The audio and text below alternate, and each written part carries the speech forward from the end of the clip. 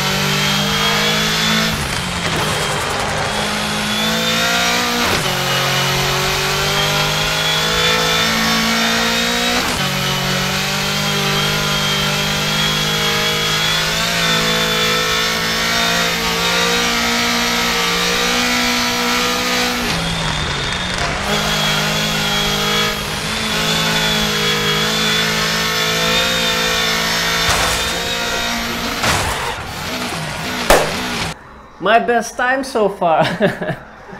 I guess I'm not choosing better cars, I'm just getting better at this game. Don't forget I played just for two weeks. And using this shifter without clutch as if as if it was sequential, it's so much easier and it gets better time. Yeah, so about this car, well, isn't really much to say. It is so super well balanced car. It's like it does whatever you want. You wanna throw it into corner sideways, it goes sideways. You wanna, it's just so easy to control this car. It's it's it's the same as Skoda Fabia R5 I drove before. Well, I would say those R5 cars are perfect for beginners like me. I played this game only for second week and it's much easier to learn with such an easy car to drive rather than driving something crazy from B class like Audi Quattro S1.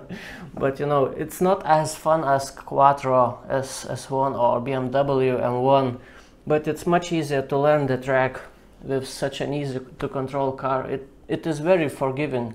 If you slide too much, it's easy to correct. If you brake too late, it's still easy kinda to correct to get back into lane. It is such an easy car to drive, really. Very, very good car to learn driving. okay, I hope you enjoyed. Thanks for watching. We'll see you in the next video. Goodbye.